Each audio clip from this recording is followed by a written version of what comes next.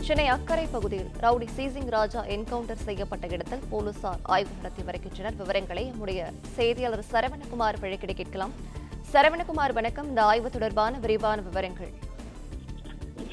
தாம்பரத்தைச் சேர்ந்த பிரபல தாதாவான சிசிங் ராஜா தொடர்ந்து பல்வேறு வழக்குகளில் தலைமறைவாக இருந்து வந்த நிலையில ஆம்ஸ்ட்ராங் கொலை வழக்குல சந்தேகத்தின் அடிப்படையிலே அவரை தேடி வந்தார்கள். ஏனென்றால் ஆம் இதுல ஆற்காடு சுரேஷனுடைய சுரேஷினுடைய கொலைக்கு பழிவாங்குவதற்கு தான் அந்த கொலை நடந்ததாக கூறப்பட்டதனால் ஆற்காடு சுரேஷிற்கு நெருங்கிய ஒரு நபராக ஸ்ரீசிங் ராஜா இருந்தவர். எனவே ஸ்ரீசிங் ராஜாவினுடைய கை இதில் இருக்குமா என்பதற்காக தான் ஸ்ரீசிங் ராஜாவை தேடி வந்தார்கள். தீவிரமாக அவர் ஆந்திர வனப்பகுதியிலே அவரை வந்து தேடி வந்த நிலையில நேற்று இரவு அங்கு வைத்து கடப்பா பகுதியில ஆந்திர மாநிலம் கடப்பாவில் வைத்து அவரை கைது செய்ததாக போலீசார் தரப்புல தெரிவிக்கப்பட்டது. அதற்கு பிறகு சென்னைக்கு விசாரணைக்கு அழைத்து வந்திருக்கிறார்கள். சென்னையில வேளச்சேரியில இதற்கு முன்பு பதிவு செய்யப்பட்ட ஒரு வழக்கு அதாவது ஒரு மதுபான விடுதியில் அதன் ஊழியர் ஆனந்தன் என்பவரை வந்து துப்பாக்கியை கட்டி மிரட்டியதாக ஒரு வழக்கு வந்து பதிவு செய்யப்பட்டிருந்தது. அந்த வழக்குல வந்து சிசிங் ராஜாவை கைது செய்வதற்காக காவல்துறையினர் அவரிடம் வந்து விசாரணை மேற்கொண்டிருக்கிறார்கள்.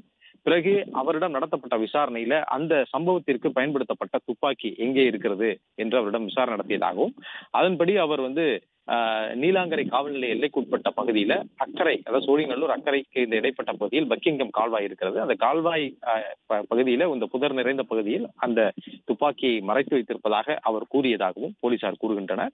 அதன் அடிப்படையிலே அவரை அழைத்து வந்து அதிகாலையிலே அந்த துப்பாக்கியை வந்து பறிமுதல் செய்வதற்காக கொண்டு வரும் பொழுது அவர் மறைத்து வைத்திருந்த துப்பாக்கியை எடுத்து போலீசாருடைய வாகனத்தை நோக்கி அவர் சுட்டதாக சொல்லப்படுகிறது. மூன்று முறை அவர் துப்பாக்கிச் சூடு நடத்தியதாகவும் அதுல இரண்டு குண்டுகள் காவல்துறையினுடைய வாகனத்துல அதாவது ஆய்வாளர் விமலுடைய வாகனத்துல இரண்டு குண்டுகள் பாய்ந்திருப்பதாக போலீசார் தரப்புல கூறுகின்றனர். அதற்கு பிறகு எதிர்த்தாக்குதல் ஆய்வாளர் விமல் கையில் வைத்திருந்த துப்பாக்கியால் சுட்டதுல இரண்டு முறை சுட்டதுல இரண்டு குண்டுகளும் சிசிங் ராஜாவின் உடலில் பாய்ந்து அவர் வந்து உயிரிழந்திருக்கிறார். அருகில் இருக்கக்கூடிய தனியார் மருத்துவமனைக்கு கொண்டு சென்றதாகவும் அவர் அங்கு உயிரிழந்து விட்டார் என்று மருத்துவர்கள் கூறியதை அடுத்து தற்பொழுது பிணக்கூறாய்வுக்காக ராயப்பேட்டை மருத்துவமனைக்கு கொண்டு சென்றிருக்கிறார்கள். இந்த சம்பவம் தொடர்பாக என்கவுண்டர் சம்பவம் தொடர்பாக மேஜிஸ்ட்ரேட் விசாரணைக்கு வழக்கமான இதுமாதிரி என்கவுண்டர் சம்பவம் நடந்தால் மேஜிஸ்ட்ரேட் விசாரணைக்கு உத்தரவிடப்படும். அதன்படி இந்த சம்பவமும் மேஜிஸ்ட்ரேட் விசாரணைக்கு உத்தரவிடப்பட்டிருக்கிறது. தற்பொழுது தெற்கு மண்டல இணை ஆணையர் சிபி சக்கரவர்த்தி அந்த என்கவுண்டர் நடந்த இடத்தில் வந்து நேரடியாக வந்து விசாரணை செய்து வருகிறார். எப்படி நடந்தது என்பது குறித்து அந்த காவல்துறையினர் அப்போது என்கவுண்டர் சம்பவத்தில் இருந்த காவல்துறை காவல்துறையினர் விளக்கி வருகின்றனர்.